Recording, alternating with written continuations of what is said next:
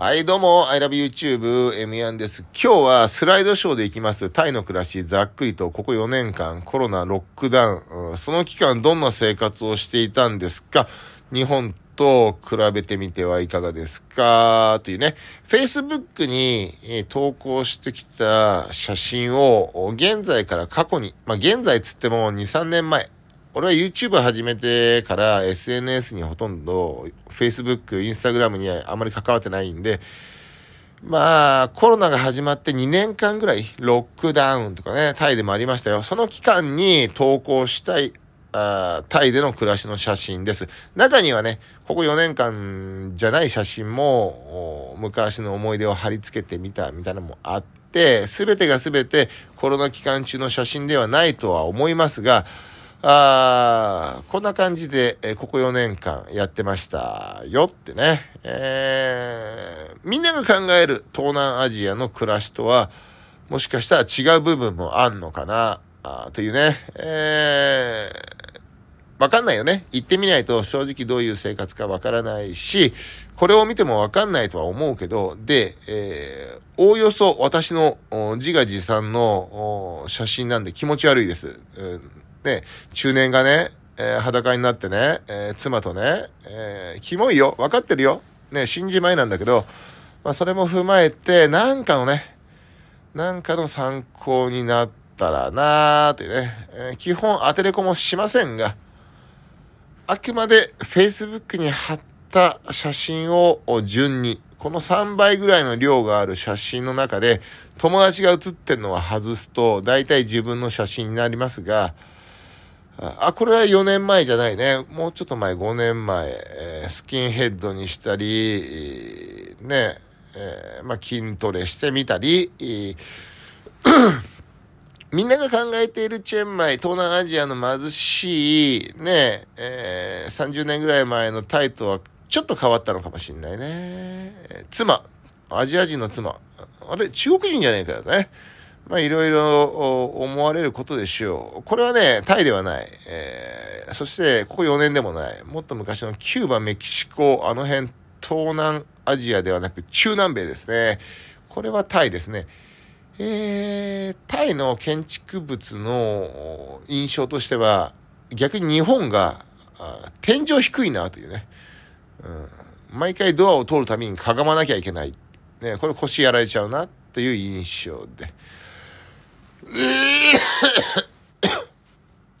まあ、ざっくりとしたイメージなんで、へえ、こういう暮らししてるんだ。ね。で、2、3人が見てくれればいいんです。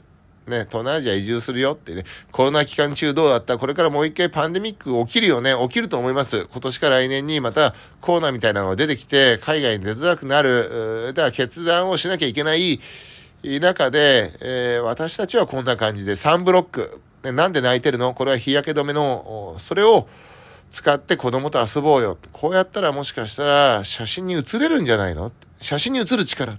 ね。何やってんの？って、えー何？自画自賛なの？何なの？っていうね、えーそこを恐れずに写っていくっていうね。はい。あー、妻ですね。えー基本写真一枚一枚に、えー何か言う気はないんだが、これは4年前じゃないね。子供が小さいもんね。はい。えーあくまで Facebook に貼ってる写真を友達が写ってるのを抜かして、えー貼ってるだけなんで、えー時系列もぐちゃぐちゃな時もあります。はい、これうちの屋台、えーですね。うちのカフェ、えー白人。懐かしいね。毎日欧米人と一緒に。欧米人ってのは、やっぱね、日本人とは違くて、欧米人の女の子に正直聞くけど、アジア人ってどうなのって、欧米人の女性に聞いた。正直にね。えー正直言ってやつ。いや、私はタイが好きで、とかって言ってっが。じゃ恋人としてアジア人はどうなのって聞いたら、やっぱ、特に日本人は英語が喋れない。ね、痛いね。俺も喋れないからね。俺に言ってんのって、えーだ恋愛の対象ではないっていうことを欧米人に言われて私は、ね、脱粉したね。はい、これうちのカフェだね。まあ、しょうがないよね。知らねえ。別に俺たちがお前たちに告ってねえしってね。聞いたけど、俺は告ってねえからな。はい、これうちの、まあ、基本妻の写真ですね。でうちの妻は SNS を基本やんない。写真にガンガン写っていける女性だとは思うけど、私を見てみたいな感じじゃないんだね。可愛い私を見てくれみたいな、ね、インスタ女子ではなくて、日常あんな感じですね。はい。真っ白な家が多いね。でも教育上良くない。うん、真っ白で、ね、え、欧米的な純白の白みたいなね、えー、ね、キリスト教いいんだけど、白い家ってのは教育上良くない。天井を見上げても真っ白。何も考える。だから日本の木目のね、ね、なんだ、あそこの木目、顔に見えるな、とか、俺を見てるな、みたいな。ね、木目素材の天井の方が教育上は、あずっといい。ね。そんなことどうでもいいか。ここどこですか？多分これベトナムだね。一応コロナ期間中にも、いろいろ旅行好きの妻はどっか行ってましたね、私を連れて。ね。はいはい。ああ、ダブってんね、写真がね。そういうこともあるんだね。うん、私の役割、ね、ひもやんの役割は、とにかく、妻と会う時間を短く。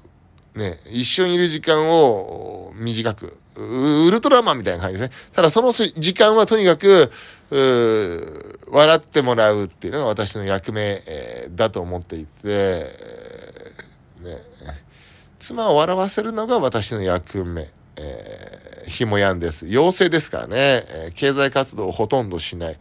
ね、犬みたいな存在ですよ。あ、これはですね、チェンマイから北に登った、なんか日本庭園みたいなのを模して大規模にやってんだわ。日本好きのおっちゃん、金持ちの地主がいるの？知らないけど。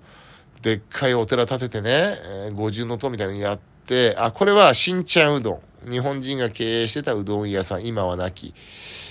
まあ、こんな感じの暮らしなんです。とにかく明るい。気候に恵まれたっていうね。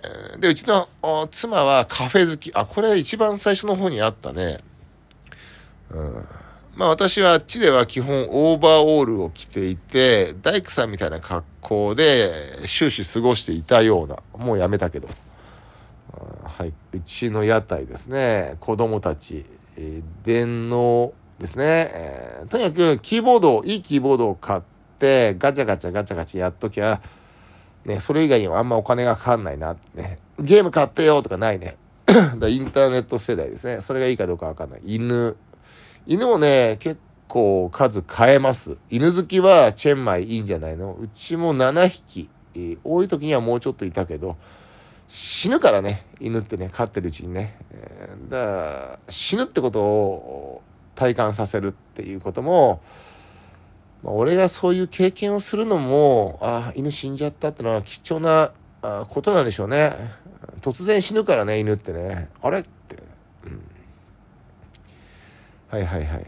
これは4年よりもうちょっと前の話じゃないかな。お手伝いさん文化ですね。うん。お手伝い一人雇うと、だいたい1万バーツ以下。8000バーツぐらいじゃない、うん、そのスペックって人間をスペックで呼ぶのは俺は好きじゃないけど、英語喋れますとかね、なんとかできます、介護できますとか、いろいろお手伝いさんにもピンキーで、うちは2人で 1万バーツ。2人で4万円。ただあ、ママたちはママたちで3人4人雇ってんじゃねえかな。はい、犬たち、病院、犬代高い、病院代高い。で、タイで犬飼ったら、病院連れてくと、この病気一生治りませんから、この薬一生飲んでくださいって渡されて、ね、えー、その薬やめると病気治るっていうね。アコギな商売してます。ペットショップ、ペット系の医療機関はね。で、結構な額かかる。たくさん買うと。病気にもなる。あ、これは温泉ですね。チェンマイ温泉湧いていて、結構いいです。ここ穴場。名前忘れたけど。はい。え、ハーゲンダッツ。こういうの食ってるとすぐ死んじゃう。うん。ほんと。ね、アイスクリーム、白いアイスクリームは体に悪い。えそれ調べてください。私食いません。はい。エステ。エステティシャンを家に呼んで、妻、週2、3でやってるような。変わんねえけど。はい。カフェ。えー、うちの妻は昔、えー、薬、製薬会社の販売員でしたね。でも俺が日本から出てタイに移住するときに、えー、じゃあ商売やってその会社辞めてってね、それでホテルとかなんかいろいろやったような、本当にやりたいことを考えてみて。この人生でやってみたいことがあるなら全部やってみようっていうね、えー、そこでホテルっていうのが一つあって。そしたらパパママすげえ怒り出して「できるわけねえだろ」みたいなね「電気圧げえ」みたいなね、えー、会社辞めんならっていうね、え、糖尿病のパパが怒り出したがそこに負けじね違うよっつってね、えー、本当にやりたいことやってダメならダメでいいからということで、えー、ひとまずやってみると大体失敗します。ね、うまくいきませんよ。でもいいんです。ロッキー、バルボ。ね、ロッキーも負けてますから。ね、えー、負けていいんです。はい、ここどこですか？プーケッツ、プーケッツかな？うん、子供に酒飲まして自分は飲めないくせに、うちの妻は酒飲めません。ねドラッグ、いろいろありますが、蔓延してますが、マリファナもね、解放されてますが、何もできない妻。あ、煉獄さん？煉獄さん見て泣いたような。家族で。小さい子供が映画館で煉獄さんとか鬼滅の刃見るとわけわかりません。そして妻は号泣します。それに下の子チェロは耐えられないっていうね。なんでママ泣いてんのって、ママをいじめるな、みたいなね。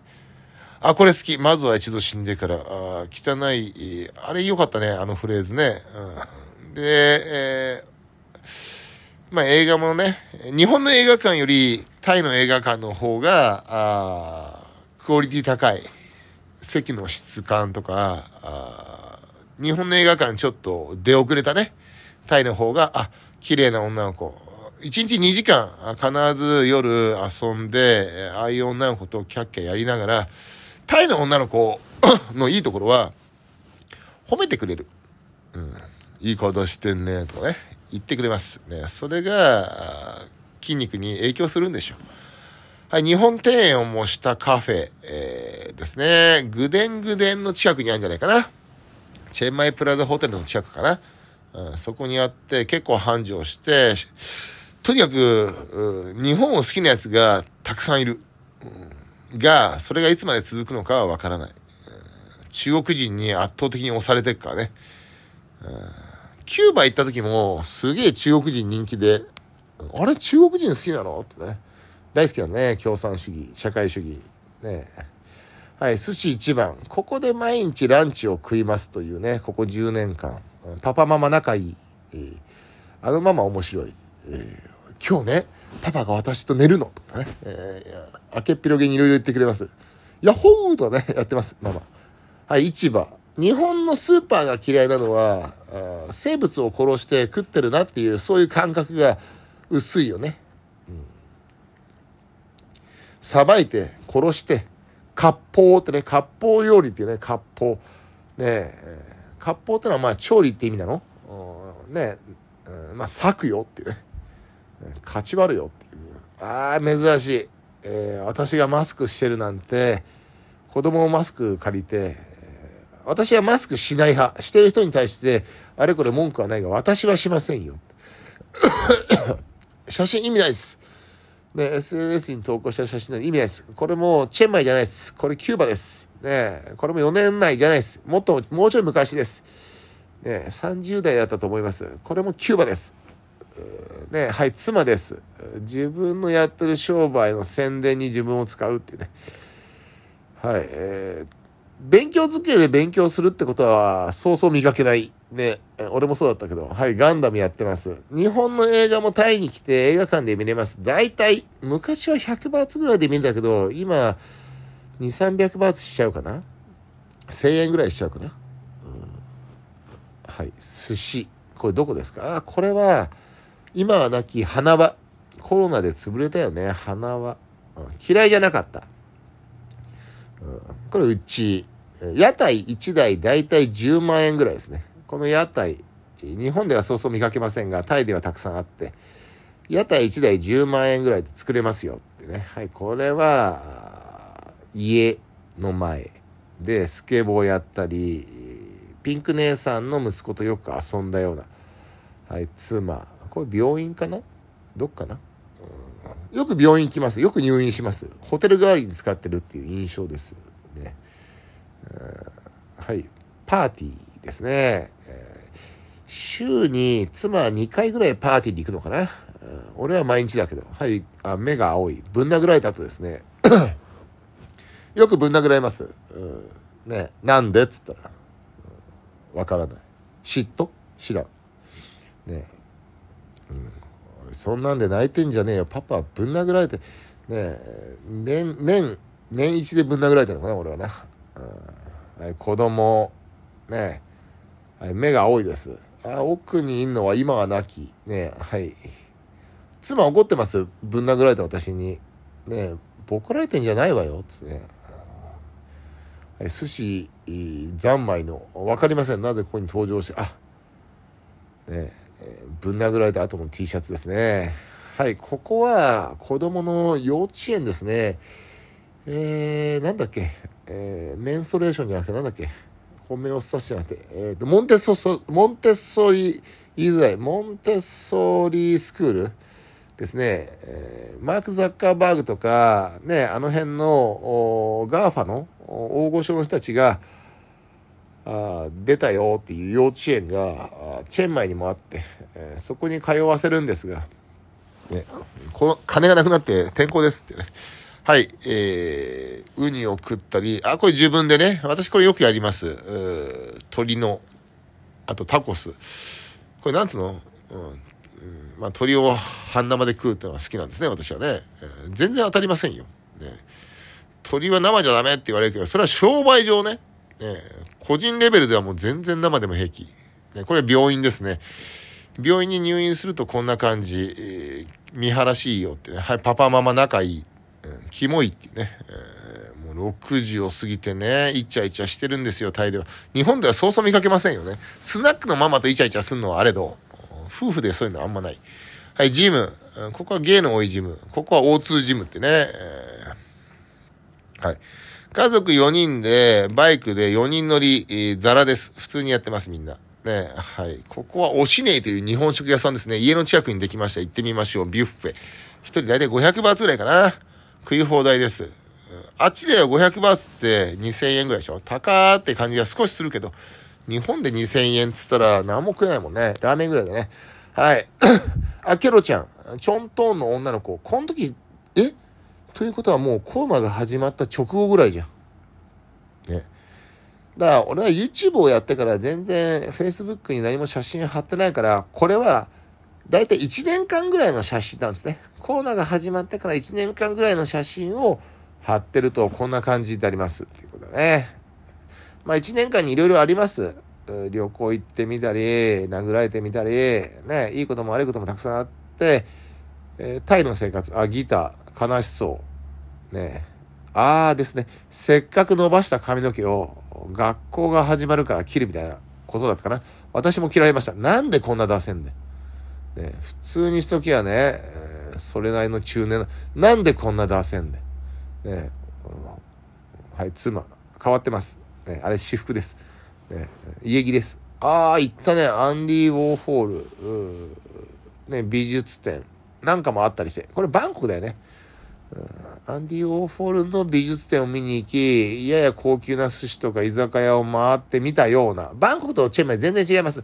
バンコクはもうほんと高級なね、お寿司屋さんとか、ラーメン屋さんとかいろいろあって、えー、面白いんですが、ただでかい。はい、青い。昔よく行った日本食屋さん、高いんだよね。うん、で、昔日本円が強かったからね、20代でもいいとこで食えたよね。うんはい。ビザの手続きを基本、私、自分一人では何もできません。タイ語も読めないし、英語も喋れない、えー、ね、タイ語も喋れない中で、基本妻に全部やってもらってます。うん、はい。私の仕事といえば試作。ね、ラーメン作ってみよう。タコスやってみよう。ハンバーグ作ってみようってね。じゃあ、妻の仕事は何ですか？ってよくわかりません。ね、紐やんですとかってやってます。私、紐ですっていうね、えー、そういう主張があるが、じゃあ、妻が全部やってんのかってあの人も別に何かやってるっていう気はしないけどね。発案。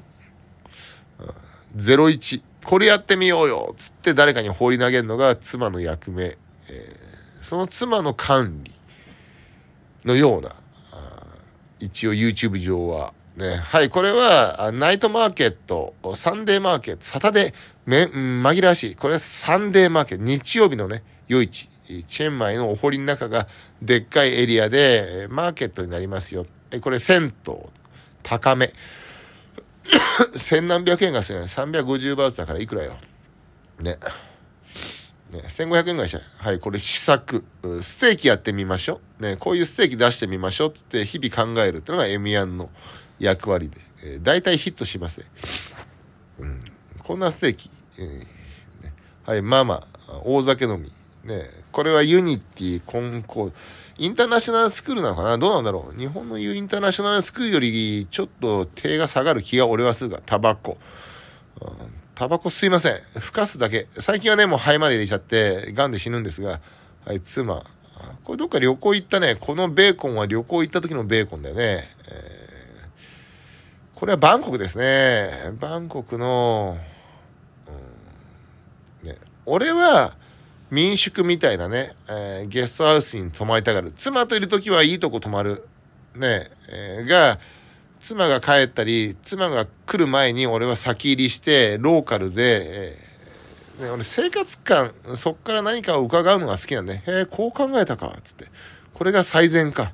ローカルではこれが一番あ最適化されてんのか。っての、こういうさ、いいよ。高いホテルも決して悪くはないけど、ほとんど覚えてね。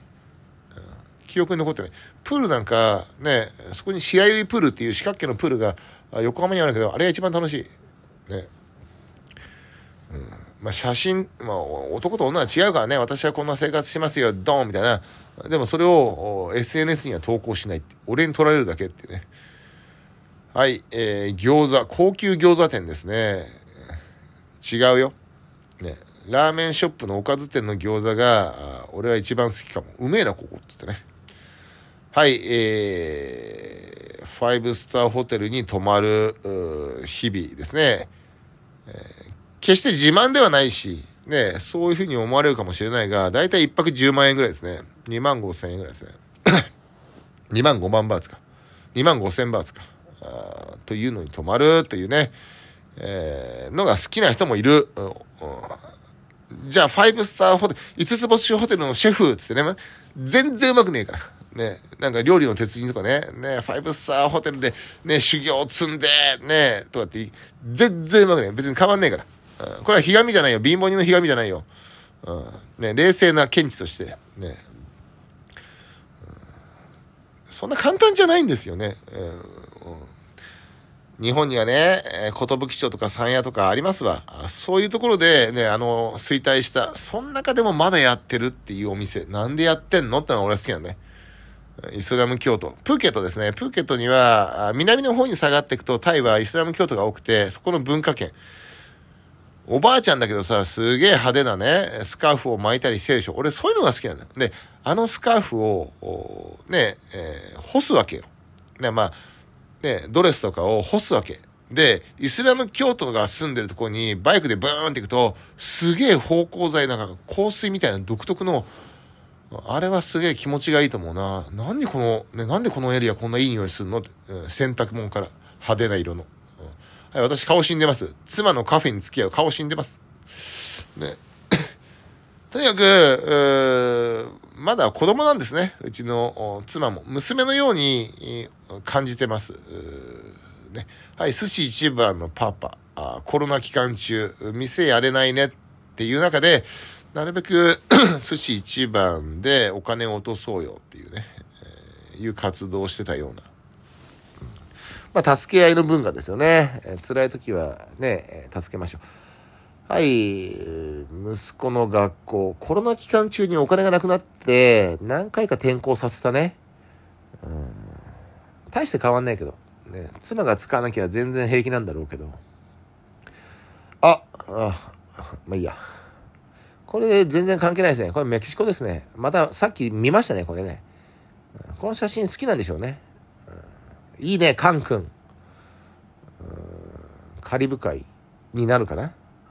違う？パイレーツ？いやこれよかったね。コスメル。え、基本私中南米が好きで、えー、ね、でも近場のタイに収まっちまったっていうね、自戒の念があって。はい。えー、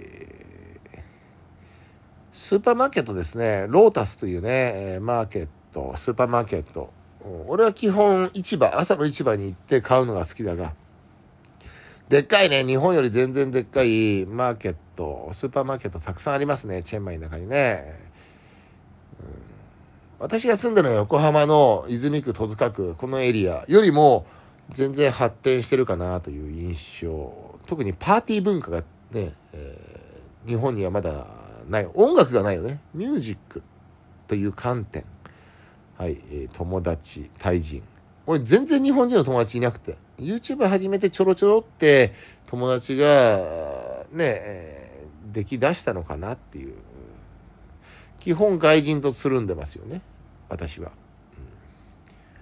うん、はい。寿司一番。とにかく、毎日寿司を食うというね、意地な、これ1セットがだいたい1000円ぐらいかな。うん。1000円よりちょっと高いかな。うん、それを3セット食うっていうね、うん、いう日々。はい、チェロ。うん、はいはい。えー、大体朝はあ市場に行って、えー、3階のバルコニーのキッチンで、えー、健康にいいものを食うってね。はい。えー、ギター、ロン毛。えー、タイの夏休みって超長くね？2、3ヶ月ない？うん、勉強してる時間超短いけど学費は超高いっていうね。はい、寿司一番ですね。まあこれあくまで SNS に貼ってる写真なんでね、チェンマイを紹介してるわけじゃないですからね。はいはい。カマメと戯れるってね、これはメキシコですね。京都の焼肉屋とメキシコ行って、うまいことカモメを手なずけて写真を撮る。えー、で、タコスを朝から10個だいたい1個100円ぐらいだったな。うめえんだ。うめえ。えー、とにかくメキシコとのは飯がうめえ。で、それを真似てチェンマイで俺もタコス作ってみたりするが、まあ、まずくはねえけど、アメリカのタコスはあフラワーだ、小麦粉を使ってるよね。で、メキシコのタコスはコーンでしょ？トウモロコシのマサみたいなね。全然味わい違くて、えー、食いやすいのは、あ、そんなんどうでもいいか。これはアナンタラホテル、ホアヒンですね。ホアヒンにも行くよね、よくね。アナンタラホテル。ね。ここでっかいトカゲがいるんだよな、池に、また帰ってきてタコスやる。うん、タコスにはまって。うまいよ。超うまいよ。うん、自分でタコスやると。はい、マーケット。パプリカ。パプリカ。あタイにはピーマンがないね。チェンマイにはピーマンがない。だからパプリカになっちゃうってね。はいはい。ウジャ。ウジャが初恋。えー、ね、従業員同士で愛し合って子供作っててよくやります。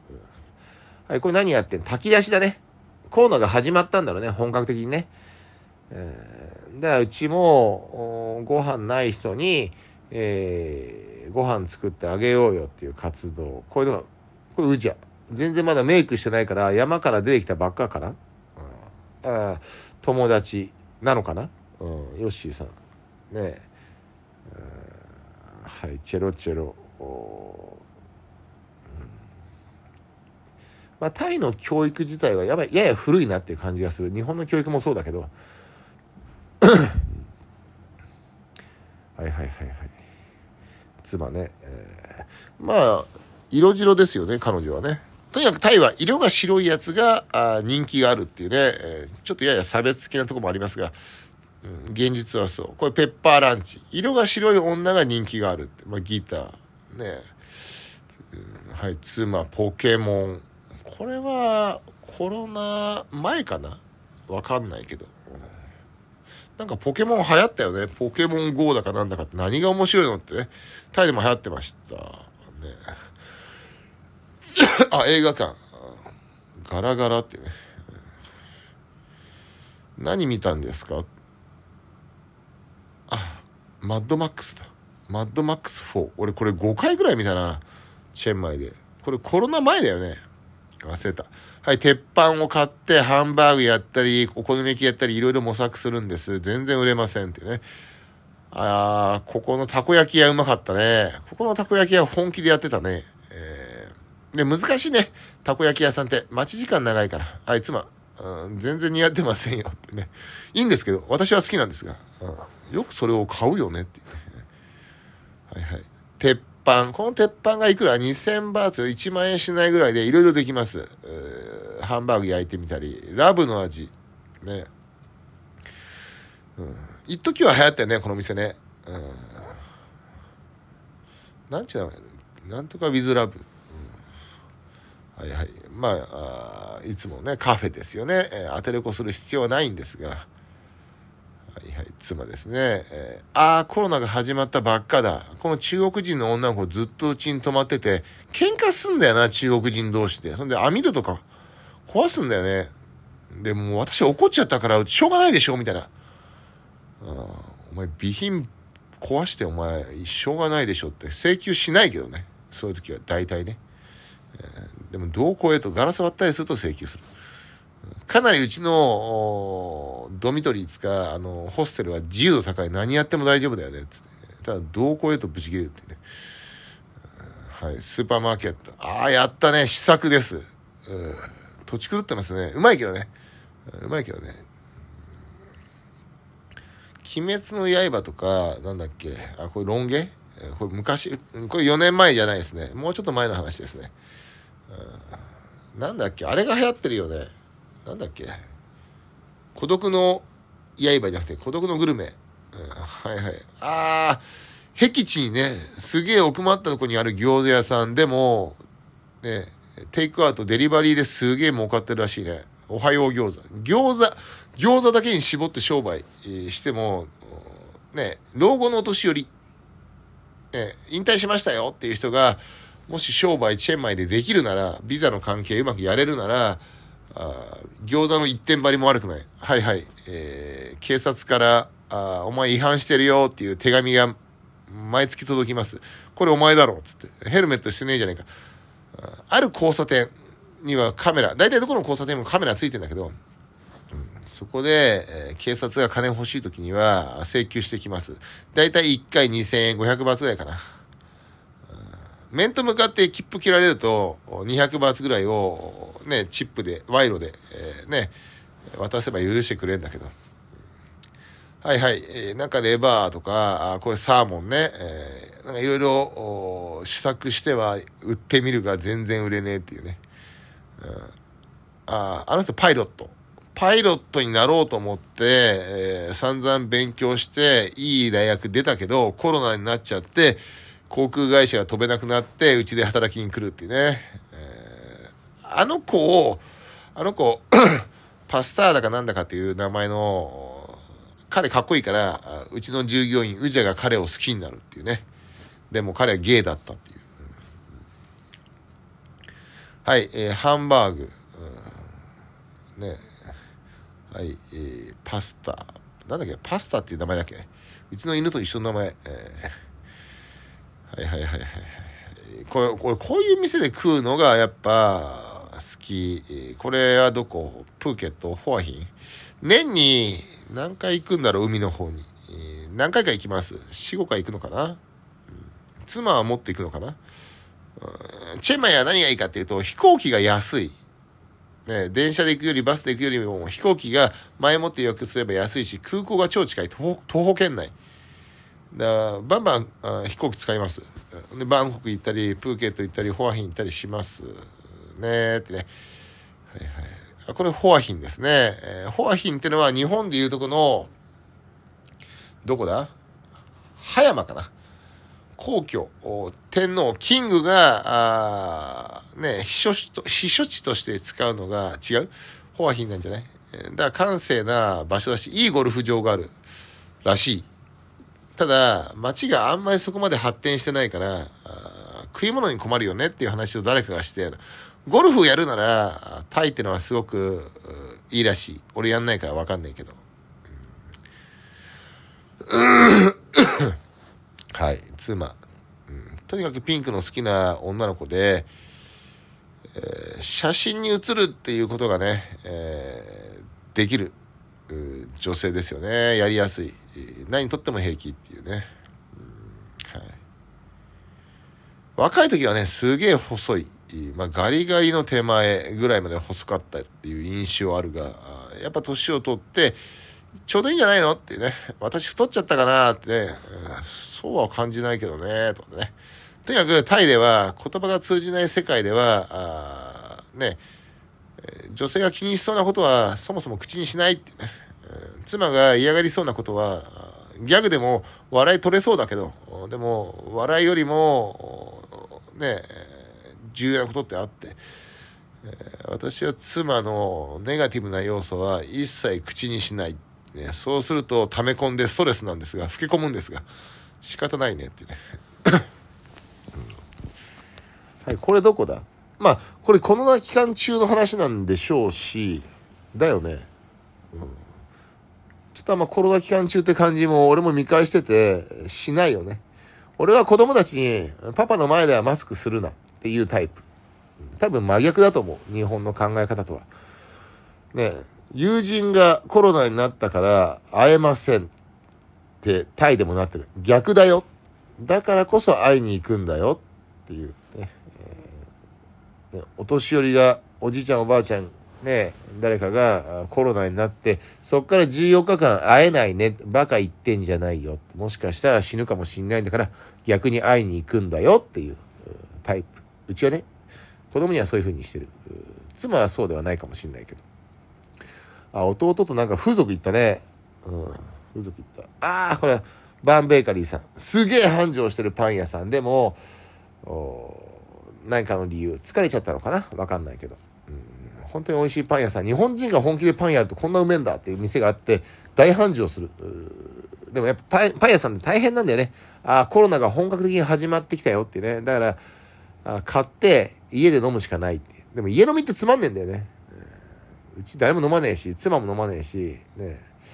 あー、ね、チェンマイホルモンさん。コロナ禍でも、コロナの中でもやっぱ、あ大繁盛してるのはチェンマイホルモンさん。でもコロナ禍でも、ね、新しい店を出すのもチェンマイホルモンさん。すごいなって、この環境下でまた新しく出せるの。で、大繁盛する。すごい、やり手。えー、うちにはできない。えー、はいはいはい。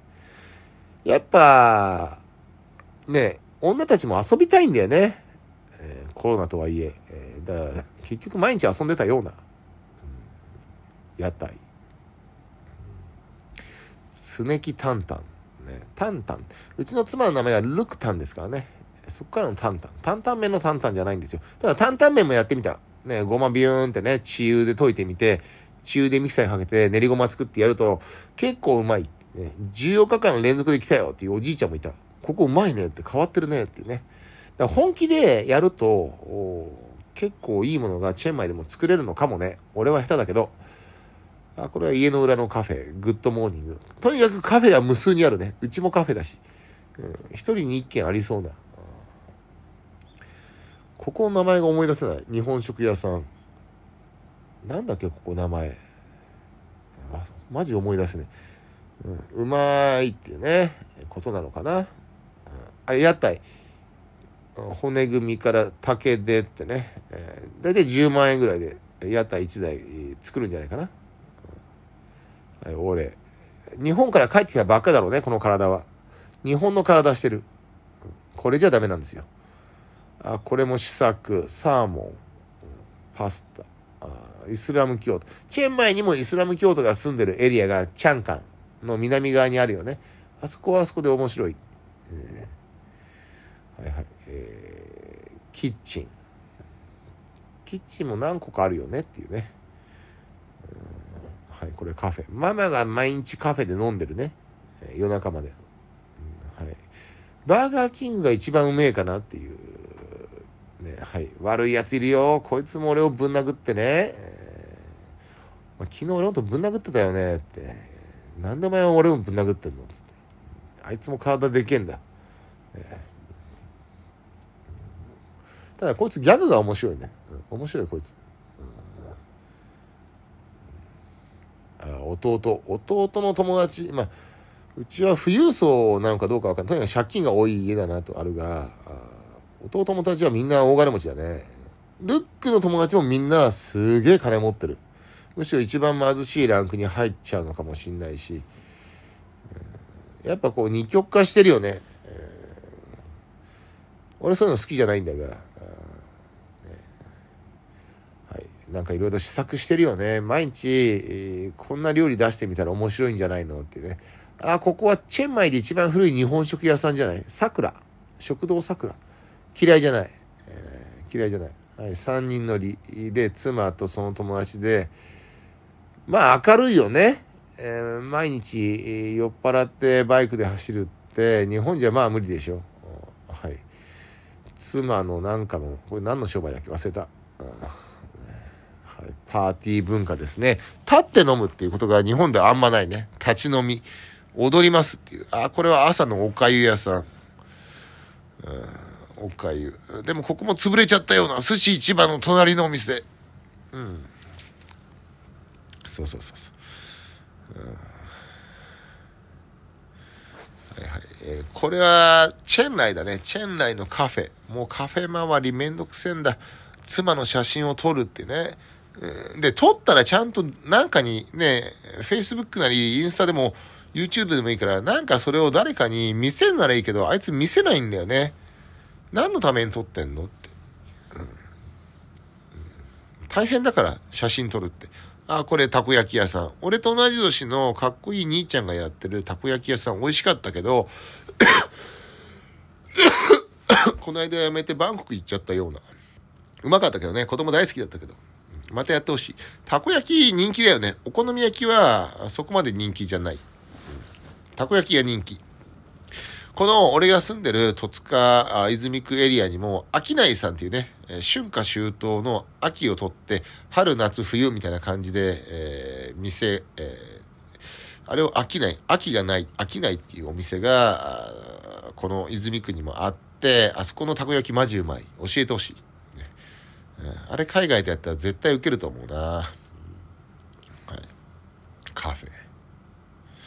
妻もだんだんあコーヒーに詳しくなってきたような。うん、はい、ああ、寿司一番でね、うん。このママもピンクが好きなんだわ。ああ、コロナが始まったよって。マスク取れよっていうね。俺はそういうタイプ。そうすると、おじいちゃんたち怒ってくんだけどね。マスクしろよとかね。なんでしなきゃいけねえんだよ。マスクほとんど意味ねえから。気持ちの問題だから。ただの安心感。プラシーボ効果でやってんだったらいいけど、うん、それちゃんと自分で分かっとけよって言いたいね。もっと深掘りして、本当にこれ体がいいのかって、俺かなり深く掘っていくよ。その健康とかね。だ俺の言う健康と、君の言う健康ちょっと違うからって、毎回妻に思う。うん、あ、これね、ずっと昔の写真かな。はい。宇治や。あ結局このたくさん写真貼ってるけど、たかが半年ぐらいの話だね。えー、ねここ何年かじゃなかった。半年ぐらいの、まあ大体1日1回ぐらい、えー、Facebook かなんかに写真貼るから今日こんな、俺忘れちゃうからね。酔っ払うと、昨日のことも全部忘れちゃうから、思い出す、アンカーと鳥が、ね、えー起爆剤として写真貼ってんだ。あ、昨日こんなことあったよね。つって、翌日思い出すっていう。うん、はい、プール。とにかくプールがたくさんあるね。えー、あ、ホテルがね、結構いいホテルなんだ、裏の。ね、カンボジア風のホテル。でもコロナでロックダウンで、だから、やることねえから焼き鳥焼いて売ってるってね、いくらにもならねえよ。これチェンライ。え中国人のお客さんと、なんか、妻が親しくなって、チェンライに送っていったような。ここ行ったね、大場さん69歳、68歳大場さんとも食った、あの、チェンライの日本食屋さん、安くてうまい繁盛してる。チェンマイホルモンに似た感じがあったかな。はいはい、妻。妻もね、自分でいろいろ商売やってっから、その、まあ、服屋みたいなのもやってっから、その時のモデルとして、えー、カフェと衣装と自分でよく撮ってるような、餃子。あ餃子屋さんにはまっていろいろ食べ歩いた時期があったね、そういやね。うん、コロナーが始まったのが春先で、えー、これは夏前の5月ぐらいの話なのかな。うん4年前の。贅沢だよね。えーピンク姉さんの彼氏の息子。うん俺はね、血のつながりとかを一切気にしないタイプ。うんねチェロが俺の子で、この子は俺の子じゃないとか、ね、ピンク姉さんの子だろうとか、そういう感じで接したくないんだよね、俺はね。ちょっとパパと飯食って食うから、お寿司食って食うから、バイバイとかって、子供違うよって、ね、そいつも連れてこいっていうタイプ。ね。はい、ギターと。あれは、はいはい、昔うちで働いてもらった友達、いいやつなんだけど、最終的には、あまあなるよね、お金で揉めるよね。うん、騙すからね、えー、対人って。えーまあ彼がどうこうって話じゃないけどね。はいはい、よく言ったね、ここの、ここのそのたこ焼き屋さん、寿司屋も出し、寿司も出しててうまいんだわ。ね、やめちゃったけど。はいはいはい。ピンク姉さんの息子と、チェロ。おね、他にお客さんは基本いないロックダウン。ね、やっぱみんな大変だったと思うな。飲食店、えー観光業の人はロックダウン期間中。いろんなホテルや飲食店が潰れたけど、寿司一番は残った。あなるべくここでお金を落としましょう。ね。まあ、1000バーツあればね、3000円落とせば生きてはいけるでしょうという。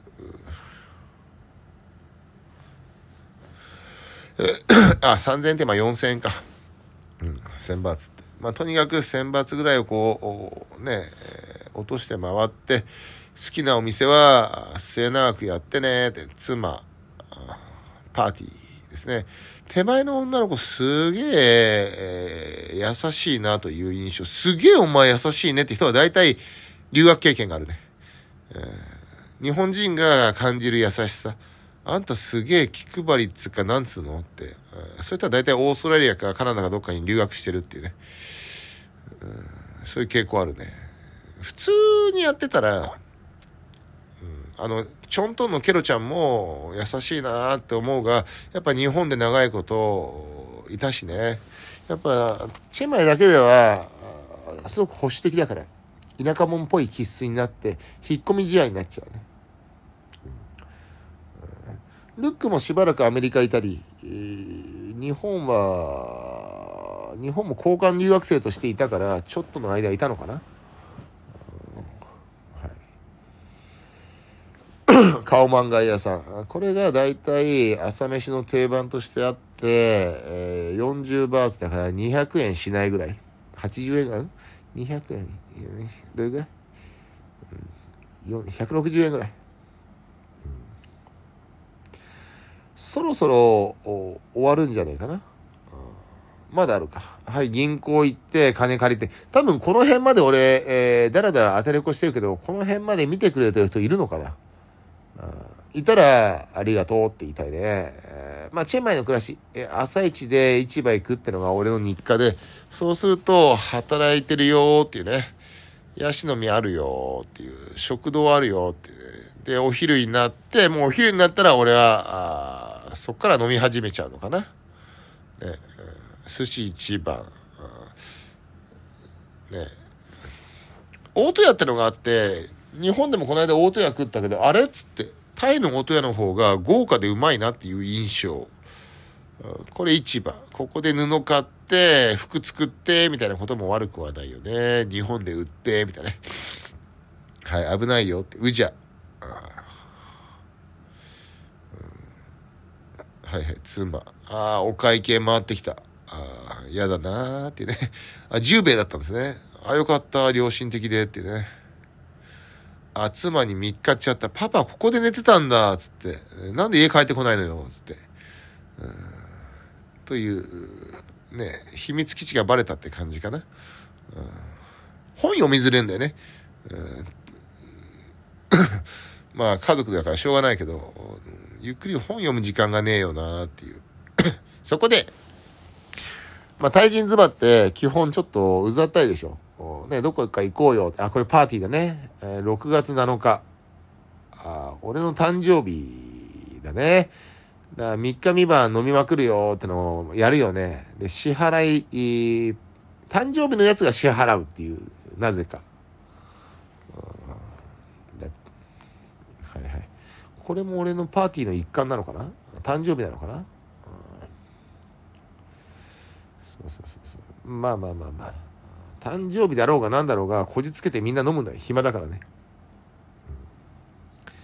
という、まあ、チェンマイの生活なんですが、まだちょっと時間あるね。長いね。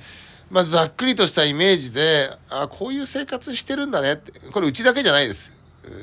みんなこんな感じで生活してる、ね、まあ、立場とか、ね、いろいろあると思うが、ざっくり分かってくれ。これ、えー、入院してます。俺もこの間ちょっとだけ 日本で 病院入ったけど、やっぱ全然感じが違うよね。看護婦さんも顔で選んでるっていう感じがするね。えー、バンコクホスピタルとか、ね、いいとこの病院はね、先生も美人だしね。はいはい。この日は何作ったんですか？ねサーモンかなんかで串でって鳥の方がうまいなという印象だったような。はい、プール、子供、ここは、まあ、ホステルのバルコニー部分ですよね。ここにキッチンがあって、よくそこで、えー、コロナ期間中全然お客さんいないからね。うん。だからそこにプール作って遊んでたような。そうそうそう。大体 ベッドが何個あるんだろう。70個ぐらいあるのかな？わかんないけど。で従業員3人ぐらいで回してっかな、はいはいそいつと遊ぶと疲れるよなっていうね犬にもね虐げはいはい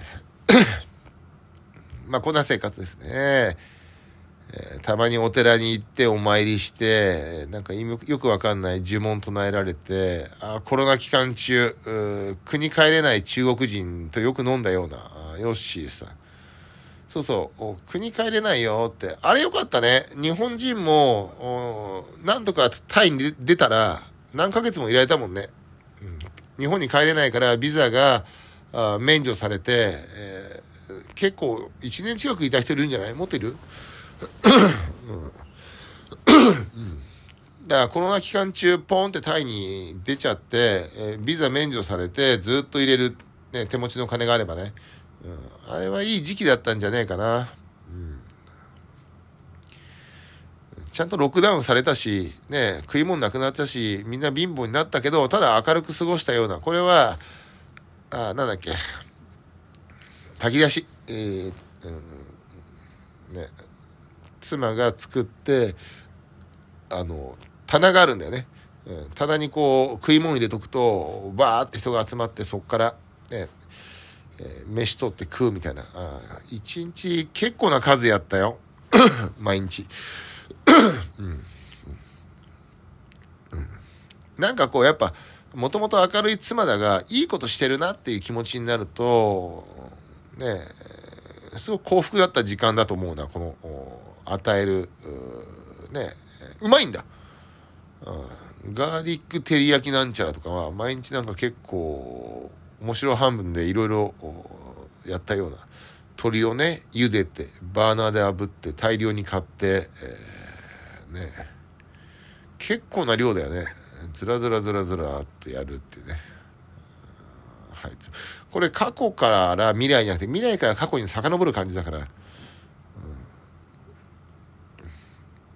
未来から過去にそうだねだ4年前の俺が日本にいた時期に近づいていくっていう、そういうスライドショーですね。だ子供どんどんどんどんちっちゃくなっていくっていう。餃子、棒棒餃子あ作って、えー、まあうまいかなという。子供、ちっちゃいね。うん、だ3歳ぐらいでしょ ?4 年前ってことは。こういうダイナソーパークもあったりして、えー、これが家族だよね。とにかく家族の仲がいいのかな。あ弟ね、えー、俺大好きで、弟のいいところは、あすごく家族思いだよね。パパママ、あと奥さんをすごく大切にする。という。はいはい。まあ3世代。だ核家族じゃないよね。俺、ね、日本は大体もう、じいさんばあさんと住まないでしょ。家族化しちゃうと、これからさらにきついんじゃないかな。イスラエルってすげえ国で、出生率、子供の数、ね、先進国ではぶっちぎりで一番だし、3世帯で住んでるし、やっぱ昔の古い家あれをがっちりイスラエルって守ってんだよね。強い国だよなってなっちゃうよね。寿司一番。コロナ始まったから、ね、客来ないからパパもマスクして昼から飲むよっていうね、えー、ことだったような。はい、チエロ、ソムタムを作るよって、お手伝いするよっていう。ね、ソムタムってあんま食わないがうまいよね。はい、これ、えー、マーケットで、えー、1杯120円ぐらいかな。うまいわな。あんま日本人食わないよね。旅行で食って食うタイ料理と住んで食うタイ料理は全然違う。あ向こうの塔からチェロが絵本を読んでくれてるっていうね。えー、まあ、全然お客さん来ねえからあいろんな部屋で、ね、日替わりで、えー、泊まってたようなあれはあれで面白い。そうそうこういうのを食って、えー、ホルモンフリーの鶏肉を買ってきて食う。で筋トレしますよ。ってね。照り焼き炙ってうまいな。照り焼きソースって日本ではそうそう売ってないけど自分で作るよね。みりんと醤油とね。でもあっちには照り焼きソースっていうのが流通していて好きなんだわ。あの甘いのが、うん、はい。こういうのを食って体を作るっていうね日中ですよ。妻。やっぱ少し若いのかな4年前。細いのかな。まだコトピーが生まれてないからね。もうコロナでね日本に帰れないからせっかくこのコロナ期間中よしじゃあ子供作ろうっつってすげえ綿密に計算して、ねで、えー、ゴールデントライアングルのとこまで行ってあなんたら泊まってその時に、一発一中で絶対子供作ろうと思ったら、やっぱできたね。やればできるもんだね。はい。俺に粘土やらせてみって。30秒で、20秒か。で、どんな恐竜でも綺麗に作ってやるからっていうね。俺粘土得意なんだわ。絵も得意だけど。はいはいはいはい。ね一人しゃぶしゃぶですね。えーこの時間、一人解放されて、懐かしいね。ガスコンロ売ってます。ガスコンロとガスで、えー、一人で、えー、アパート。アパート大体、今どれぐらい ?5000 バーツぐらい、まあ3万円ぐらいあれば、そこそこプールがついて、ジムついて、みたいなさ、とこ泊まれんじゃない ?4 万円ぐらいあれば。3、4万でいけるでしょ。そこでガスコンロ買って、肉焼いたりしゃぶしゃぶやって、えー、まあ、楽しいよね。一人暮らしね。チェンマイのね。はい。まあ、犬飼ってね。うん、ぜひ日本では犬って飼えない。40年前はね、平気で犬みんな飼ってたと思うけど、今飼いづらい。なんでこうなった？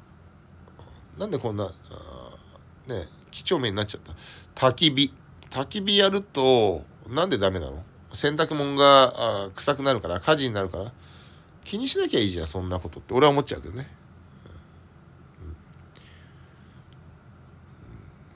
だ洗濯物がない日に焚き,、ね、焚き火すりゃ、ね、近所にさ、ちょっと今から焚き火やっていいですかって聞きゃいいじゃん。何でもかんでもダメで、えー、ちょっとでも迷惑かけちゃいけないみたいな。で、だからちょっとされたらすぐ怒るみたいな。ちょっとしたことで怒るよね。という印象。自分もちょっと、全く人に迷惑かけないっていう風になっちゃってる社会。ちょっとやったらセクハラ。ちょっとやったらパワハラ。ね。で、ちょっともやっちゃいけない。だからちょっとやられると怒るっていうね。えー、すげえ気難しい社会になっちゃってるよね。許せるでしょ、それぐらいって。どうでもいいでしょ？っていう。と俺は思うがな。俺はね。はい。ああ、福ちゃんここで出てきました。なんで？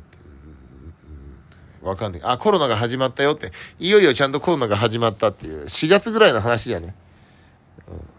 うん、4年前。なんかいろいろやったね。覚えてねえけど。うん、そうそう。まあ結局やってることは毎日同じなんですが、ね、ハンバーグ、試作、うん、牛肉、うまいね。結局牛肉がうまい。うんあのさ、繰り返しになるけど、卵って体にいいでしょ？だから俺もよく食ってたんだけど、ここ何年間もずっと食ってる。毎日卵食って。でも卵って癌になるんだって。ちょっと調べてみて。俺が言うと信憑性ないけど、癌、ね、お肌にもいいし、筋肉にもいいし、卵ってほぼビタミン C、食物繊維を抜いた完全食品だって言われてんだけど、癌になるんだわ。すげえ癌の確率上がっちゃうんだろうね。怖いね。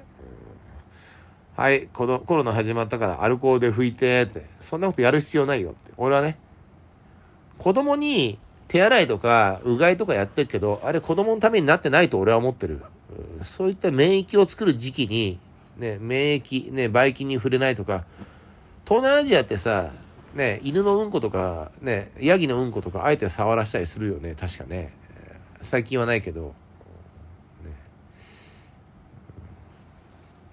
だから間違ってんだよね。弱い子を作ってるよね。俺も子供の時砂食ってたもん。なんか砂食っちゃうなっつって。あれ何だったんだろうね。でも子供なりの免疫のなんかだったんだろうな。砂うめえなっつって。お母さんに叱られるんだわ砂食っちゃダメよっつって、うん、でもあれも本能的になんかやってんだろうね。だ結果かなり強い耐性のあるこの間アレルギーテストやったのよ一切何？が？が、がにちょっとだけアレルギー反応があって、それ以外一切アレルギーないっていう、そういったアレルギーテストの結果だったね。だ花粉症にもならねえし。だ子供の時に綺麗すぎる、日本特に綺麗すぎるよ。ね。だ自分を信じてって、自分の免疫を信じてってね、何百万年も今までやってきたんだからさ、っていう、その末裔なんだから、ね、科学に頼らず生きていけるんですよっていう、そこを信じないと、まあ、弱いね、感じになっちゃって、体が弱くなると、メンタルも、ね、えー、引っ込み試合になっちゃう。堀江門も言ってたよ。結局体の強さなんだな。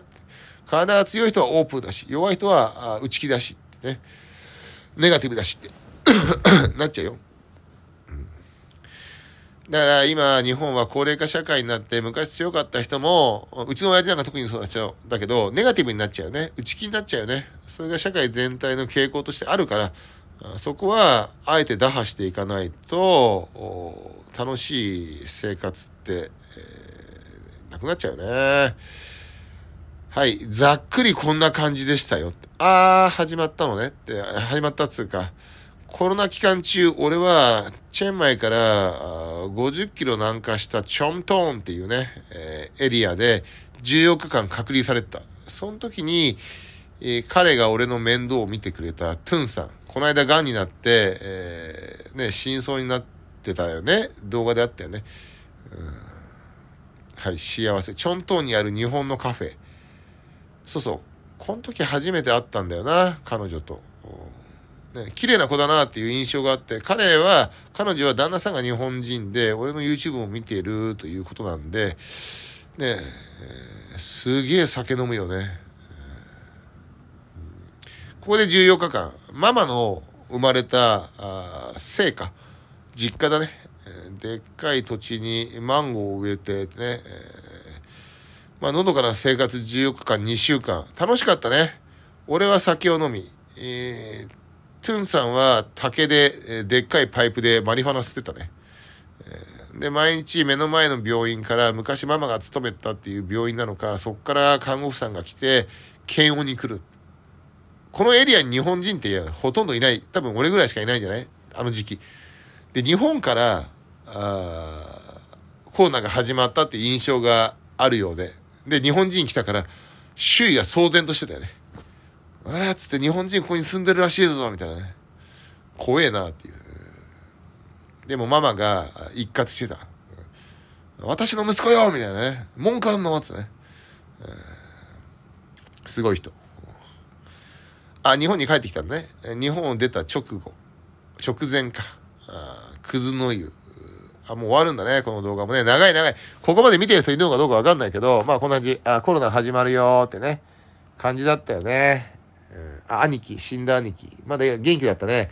俺と一緒の時は元気だよね、彼ね。焼肉行こうぜ、とかね、いろいろやったような。楽しかったね。うん、ねもう少し待っててくれたらなという、まあ人生いろいろあるよね。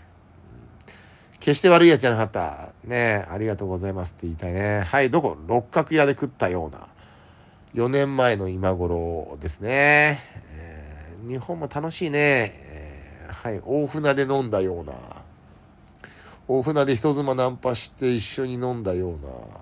ね、立ち飲み屋で、えー、寿司屋だね。大船の回転寿司。えーこれは大船のホルモン焼き。なんか当時大船にはまってたんだな、俺な。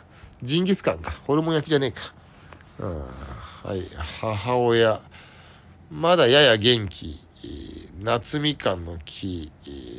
ねこの間切ろうとしてね、うん、俺はこの時日本に就活、家の整理とかで帰ったんだけど、コロナが始まっちゃったんだよね。で、毎日飲み歩いて、これは新橋の行きつけってわけじゃないけど、好きな立ち食い寿司ですね。はいはいはい。こんな感じだね。日本でパラサイトって映画があったね。アカデミー賞取って韓国。あれって映画抜かれちゃったねってね。韓国映画すごいね。ここは吉村屋並んでて食えなかったような。だからそば食ったり寿司食ったり横浜駅周辺、でこれ新宿だね。短期間にすげえ勢いで遊んでたようなあっちこっち行って、えー、ね、でラーメン食って。あこのラーメンはあそこですよ、神奈川県で一番。ランキングいつも一番。すすき屋さんですね。で、母親と父親、まだ一緒に住めてた。あね、仲いい。もう一回だけね、えー、父と母が一緒に住めるような環境が作れたら、はい、整理するよ。不動産整あ、ダイヤモンドプリンセス号が入校してきましたよ。どうする？大ちゃんとのカラオケ。どうする？タイに帰るのか？って考えたような。ですね。大ちゃんもステージ4の癌になって、あれから5年が経ち元気になって、本当よかった。ね。家、えー、この辺からアルツハイマーが始まったんだよな、親父のな。カーテン全部切っちゃって、体重も今より12キロ多い。タイから帰ってくると筋肉があるという印象。で日本に帰ると、ヨボヨボの老人みたいな体になって、またタイに行って筋トレする。これ、えー、どっかの劇、あ、終わっちゃう。I love YouTube エミアンです。